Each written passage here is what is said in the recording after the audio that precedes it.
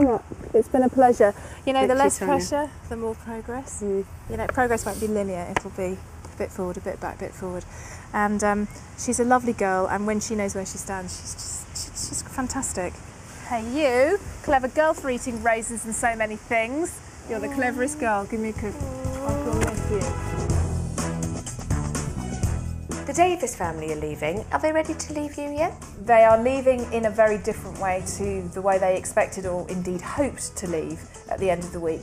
But I think they have gained some new insights into their daughter.